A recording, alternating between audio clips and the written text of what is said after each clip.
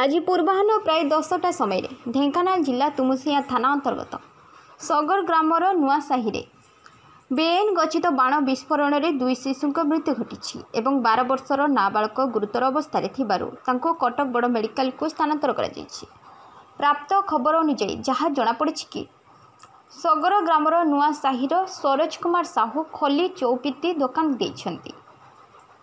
ଯେଉଁ ଦୁଇ ଜଣ ଶିଶୁ ମଲେ ସେ ଜଣେ ସରୋଜ କୁମାର ସାହୁଙ୍କ ପୁଅ ଏବଂ ଆଉ ଜଣେ। ମନମୋହନ ସାହୁଙ୍କ ପୁଅ ଏବଂ ଗୁରୁତର ହୋଇଥିବା ନାବାଳକ ସରୋଜ କୁମାର ସାହୁଙ୍କର ବଡ଼ ପୁଅ ବୋଲି ଖବରରୁ ଜଣାପଡ଼ିଛି। ଆଜି ଯେଉଁ ଏତେ ବଡ଼ ଅଭାବନୀୟ ଦୁଃଖଦ ଘଟଣା ଗୋଟେ ପରିବାର ଭିତରେ ଘଟିଛି ଏଠି ସାଧାରଣରେ ପ୍ରଶ୍ନ ଉଠୁଛି କି ଜଣେ ଖଲି ଚୌପିତି ଦୋକାନ ଏତେ ପରିମାଣରେ ବେଆଇନ ବିସ୍ଫୋରଣକ ଦ୍ରବ୍ୟ ଗଚ୍ଛିତ କରି ରଖିଥିଲେ କେମିତି? ବର୍ତ୍ତମାନ ଘଟଣାସ୍ଥଳରେ ଖବର ପାଇ ତୁମସିଆ ଥାନା ପୋଲିସ ପହଞ୍ଚି ତଦନ୍ତ ଜାରି ରଖିଛି।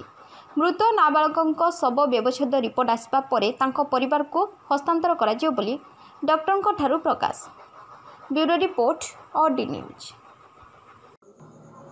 ଓଡ଼ିଶାର ଗର୍ବ ଓଡ଼ିଶାର ଗାରିମାକୁ ନେଇ ଆମେ ଗର୍ବ କରୁ। ଠିକ୍ ସେମିତି ନିର୍ଭୀକ ସମ୍ବାଦ ପରିବେଷଣ କରିବା ଆମ ଓଡି ନ୍ୟୁଜ୍ର ଧର୍ମ। ସତ୍ୟ ଘଟଣାକୁ ଆପଣଙ୍କ ନିକଟରେ ପହଞ୍ଚାଇ ସମସ୍ତେ ସ୍ୱାଭିମାନରେ ବଞ୍ଚିବା ସେଥିପାଇଁ ପସନ୍ଦ ସମସ୍ତଙ୍କର ଓଡି ନ୍ୟୁଜ୍।